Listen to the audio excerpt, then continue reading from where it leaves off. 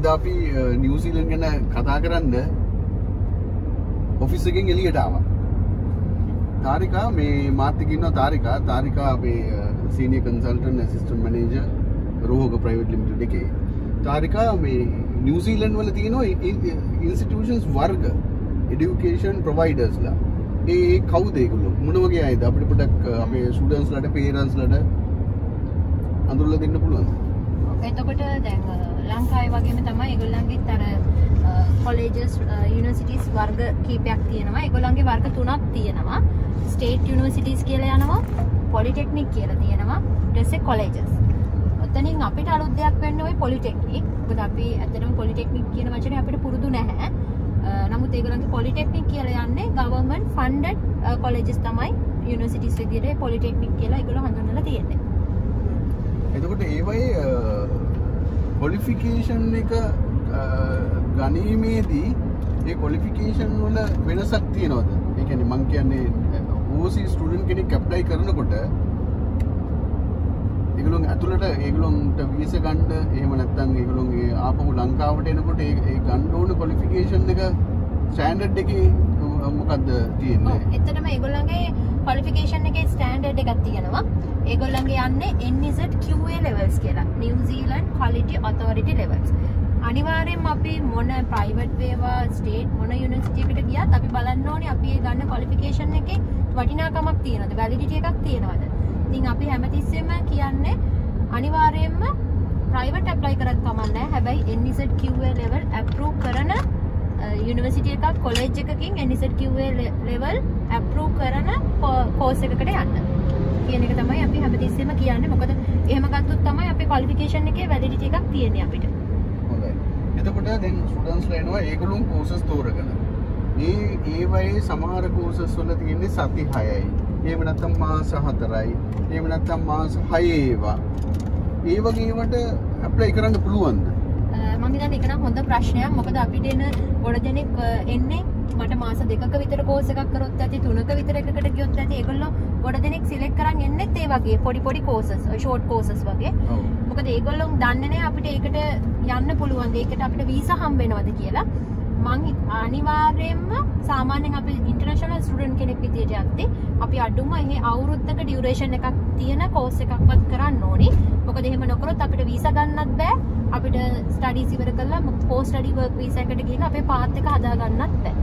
මේක හරි වැදගත් ගොඩක් අය ඉන්ටර්නෙට් එකේ ඒගොල්ලෝගේ කෝස් නේම් එක ගහපුවම කෝසස් එනවා කෝසස් එනවා ගොඩාක් කෝසස් තියෙනවා සර්ටිෆිකේට් කෝසස් ඒවා ඩිස්ටන්ස් ලර්නින් කියලා යනවා ඒව ඔක්කොම යන්නේ සති 6 කෝසස් මාස 3යි මාස 6යි ඔය වගේ පොඩි පොඩි කෝසස් අපි හැම අනිවාර්යයෙන්ම කියන්නේ ඒ වගේ පොඩි පොඩි කෝසස් වලට අපිට වීසා දාන්න බෑ. මොකද වීසා ගන්න බෑ. ඒක ඒගොල්ලන්ගේ වීසා රූල් එක ඕගොල්ලෝ ඕක තෝරනකොට බලන්න කෝස් එක කෝස් නේම් එක ටයිප් කරාට පස්සේ ගොඩක් වෙලාවට ඒගොල්ලෝ PDF එකක් දෙනවා ඒගොල්ලෝගේ කෝසස් වල. එතනදී තියෙනවා ලෝකල් ඉන්ටර්නැෂනල් කියලා බෙදලා. ඔව් අන්න එතනදී අපි තෝරගන්න ඕනේ ඉන්ටර්නැෂනල් එක. නැතුව කෝස් නේම් එකට එන කෝස් ලිස්ට් එකකින් කෝස් එකක් තෝරගෙන නෙවෙයි. නෙමෙයි මොකද දැන් අපි එහෙම කෝස් එකේ නේම් එකත් එක්ක ගහපු ගමන් ඒගොල්ලෝ ගොඩක් වෙලාවට දෙනවා ඩොමෙස්ටික් ස්ටුඩන්ට්ස් වලට දෙනවා තියෙනවා ඉන්ටර්නැෂනල් ස්ටුඩන්ට්ස් වලට දෙනවත් තියෙනවා. එතකොට අපි ඇප්ලයි කරන්නේ ඉන්ටර්නැෂනල් ස්ටුඩන්ට් කෙනෙක් විදියට නිසා අපි අනිවාර්යයෙන්ම ඒගොල්ලන්ගේ ඉන්ටර්නැෂනල් ටැබ් එකේ බලන්න ඕනි මේ කෝස් එක ඉන්ටර්නැෂනල් ස්ටුඩන්ට් කෙනෙක් විදියට ඇප්ලයි කරන්න පුළුවන්ද? සමහර කෝසස් තියෙන ඔන්ලයින් මෝඩ් විතරයි තියෙන්නේ. අපිට ඔන්ලයින් මෝඩ් ඒවා කරන්න බෑ. අපි අනිවාර්යයෙන් ඕන් කැම්පස් එක බලන්න ඕනේ. අර ඒ වගේ පරිස්සම් වෙන්න ඕනේ අපි කෝස් එකක් සිලෙක්ට් කරගනිද්දී උනත් මේක ඉන්ටර්නැෂනල් ස්ටුඩන්ට් කෙනෙක් විදියට අපිට ඇප්ලයි කරන්න පුළුවන්ද කියන එක. සමහරු එනවා රිෆියුස් වෙලා. ඒ කියන්නේ ඒගොල්ලෝගේ වීසා කරපු කෙනා දන්නේ නැතුව අර වගේ කෝසස් වලට ඇප්ලයි කරලා. එතනත් තියෙන අර අර දැනුවත්භාවය තමයි අපි අර කලින් වීඩියෝ වල කරා කරා වගේ කියන්නේ ඕගොල්ලෝ වීසා කරන ඒජන්ට් උනත් ඒක ගැන හොඳ අවබෝධයක් තියෙන්න ඕනේ කෝස් එක සිලෙක්ට් කරගන්න එකේදී. සමහර ඒවායි බොහොම ඒ කියන්නේ කෝසස් 50 60 100 200 තියෙන ඒවා තියෙනවා. තියෙනවා. ඕන තරම් කෝසස් තියෙනවා තියෙනවා. මොකද අපි දැන් වීසා එකේ මේන්ම අපි මුලින්ම ස්ටාර්ට් කරන්නේ අපේ කෝස් එකක් සිලෙක්ට් කරගෙන. ඒ කෝස් එකක් සිලෙක්ට් කරගෙන එතෙන්දී ඩොකියුමන්ට්ස් ඇප්ලයි කරලා ඔෆර් එක අරගෙන ඒ අපි ගන්න ඔෆර් එකටයි අපි වීසා එක දාන්නේ. ඉතින් එතෙන්දී අපි අනිවාර්යයෙන්ම අපිට හරියට අපේ ප්‍රොෆයිල් එකට ගැලපෙන්න ඕනේ අනිත් එක. මොකද මේ ප්‍රොෆයිල් එකට ගැලපෙන් නැතුව ඇප්ලයි කරන්නත් බෑ. ඉතින් අපිට ගැලපෙන ඩියවරේෂන් එක යුනිවර්සිටිය එක එයා යන ලෙවල් එක එයාගේ ඒජ් එකට එයාගේ කොලිෆිකේෂන් වලට ගැලපෙන් ඕනි අපි යාගේ කෝස් ලෙවල් එක බලන්න. අ, එතකොට දැන් සමහර අය එනවා අ, ගොඩක් කාලයක් දැන් අවුරුදු ඉතිහක් වගේ කෙනෙක් කෙනවා එයා තනිකර එයා ප්‍රොෆයිල් එක බිස්නස් මැනේජ්මන්ට් කරලා ඒක ඩිප්ලෝමාස් එතකොට වර්ක් කරන්නේ මැනේජ්මන්ට් පැත්තෙන්. ඔක්කොම ටික කරලා එයා ඇවිල්ලා කියනවා අපිට "අ, මට බිස්නස් මැනේජ්මන්ට් නම් කරන්න බෑ මට ඇප්ලයි කරන්න ඕනේ early child.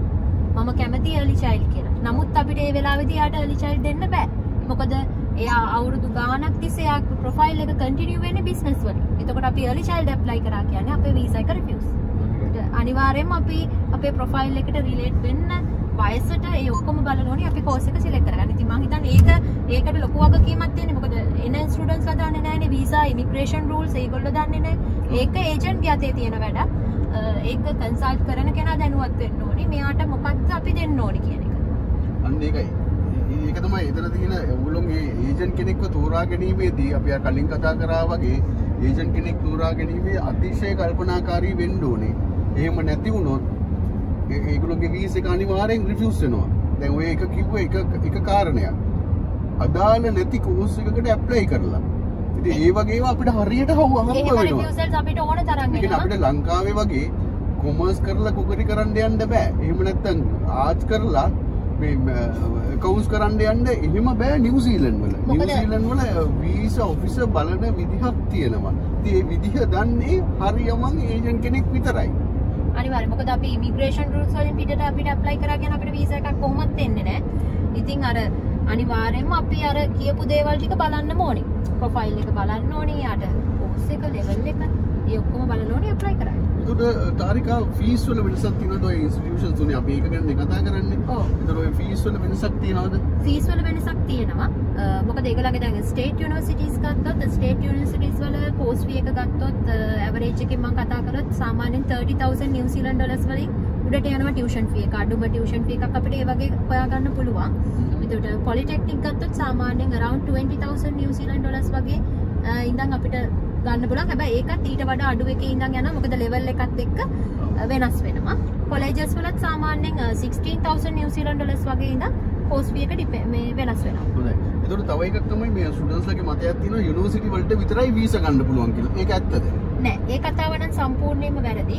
මොකද යුනිවර්සිටිස් වලට විතරක් නෙමෙයි පොලිටෙක්නික් වලට කොලෙජස් වලට ඕන තරම් අපි වීසා ඇප්ලයි කරලා තියෙනවා. අපි හරියට ඩොකියුමන්ටේෂන්ස් හරියට IELTS එතකොට ෂෝ මනි ෆන්ඩ් එක අපි ඒවා හරියට arrange කරලා තියෙනවා නම් මම හිතන්නේ ඒකට මේ කොලෙජස් පොලිටෙක්නික් වල වෙනසක් නෑ. මොකද අපි කරලා තියෙන වීසා ඕන තරම් තියෙනවා. අපිට මම හිතන්නේ අපි ඔය අ, වර්ග තුනටම එක හා සමානව ස්ටුඩන්ට්ස්ලා ප්‍රොසෙස් කරලා තියෙනවා. ඒක දැනුත් ඔය කිව්ව දේ දැනුත් සිද්ධ වෙනවා. මේ දැනුත්.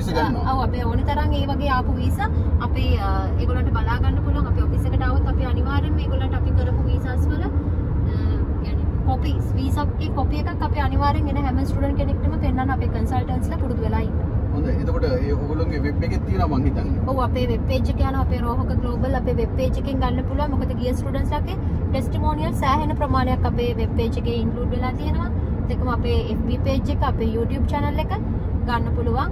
ඒත් එක්කම අපිට කතා කරන්න පුළුවන්. අපේ hotline numbers තියෙනවා. ඒ ඔක්කොගෙම අපි විස්තර ගන්න පුළුවන් නම් මේගොල්ලෝ කොහොමද අපි බලන අය? මේකට අපි වීඩියෝ තව දුරටත් බලන්න ඕන නම් ඔව් කොහොමද? ඇත්තටම අපි මේ වගේ වීඩියෝස් දිගටම කරනවා. අපේ වීඩියෝස් ගොඩක් තියෙනවා අපි අප්ලෝඩ් කරලා. ඒවා හරහා ඔයගොල්ලන්ට අපි විස්තර ගන්න පුළුවන්. අර කිව්වා වගේ අපේ වෙබ් පේජ් එක බලන්න. අපේ hotline numbers තියෙනවා ඒවට කතා කරන්න. අපේ YouTube channel එක subscribe කරන්න. එතකොට ඔයගොල්ලන්ට මේ වගේ තවත් විස්තර දැනගන්න පුළුවන්. හොඳයි. බොහොම ස්තුතියි තාරිකා. හරි